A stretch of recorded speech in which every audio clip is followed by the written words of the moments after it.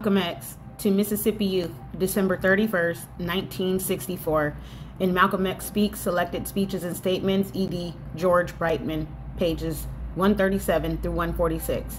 One of the first things I think young people, especially nowadays, should learn is how to see for yourself and listen for yourself and think for yourself then you can come to an intelligent decision for yourself.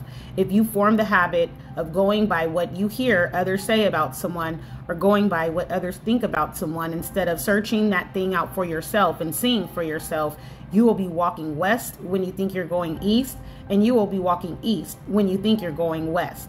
This generation, especially of our people, has a burden, more so than any other time in history. The most important thing that we can learn to do today is think for ourselves. I myself would go for nonviolence if it was consistent. If everybody was going to be nonviolent all the time, I'd say, okay, let's get with it. We'll all be nonviolent. But I don't go along with any kind of nonviolence unless everybody's going to be nonviolent. If they make the Ku Klux Klan nonviolent, I'll be nonviolent. If they make the White Citizens Council nonviolent, I'll be nonviolent. But as long as you've got somebody else not being nonviolent, I don't want anybody coming to me talking any nonviolent talk.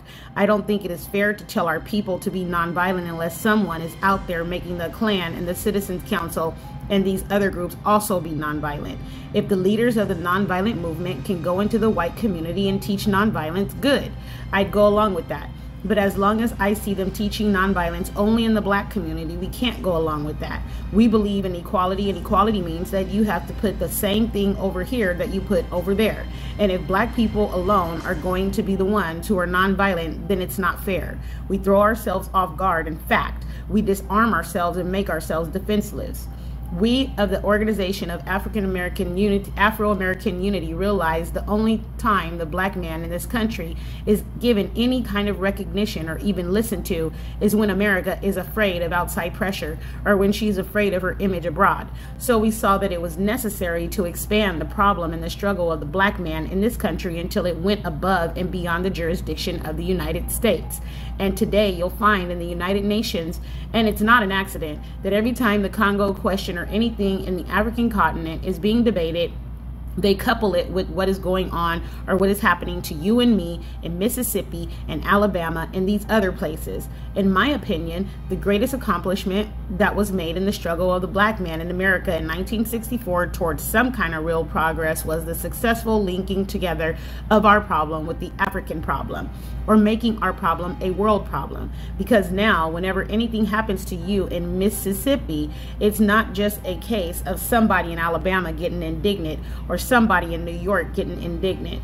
The same repercussions that you see all over the world when an imperialist or foreign power interferes in some section of Africa, you see repercussions. You see the embassies being bombed and burned and overturned nowadays. When something happens to black people in Mississippi, you'll see the same repercussions all over the world.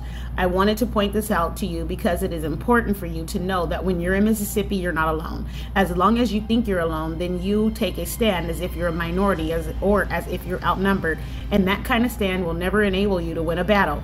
You've got to know that you've got as much power on your side as the Ku Klux Klan has on its side.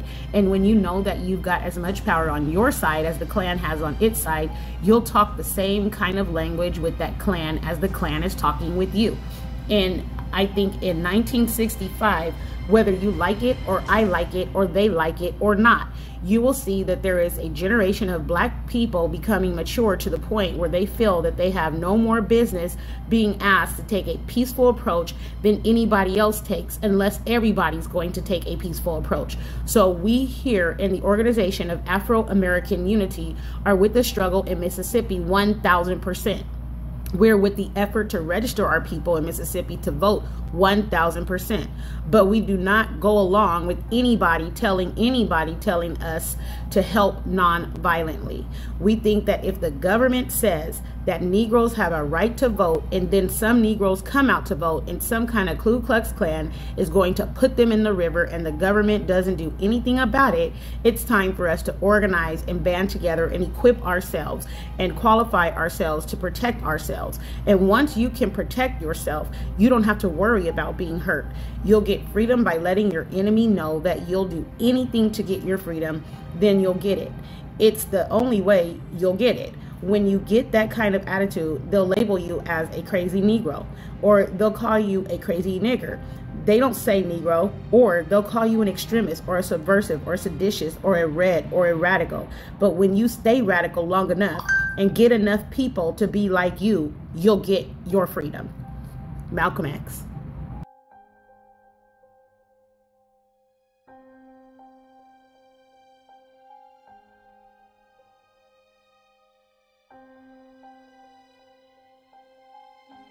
There is one summary for H.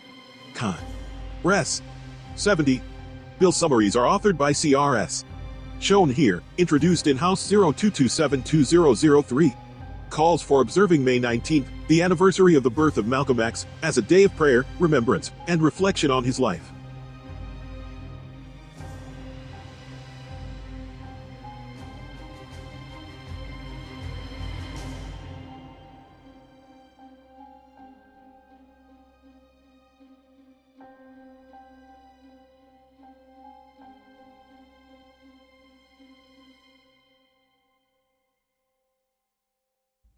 You are the light of the world.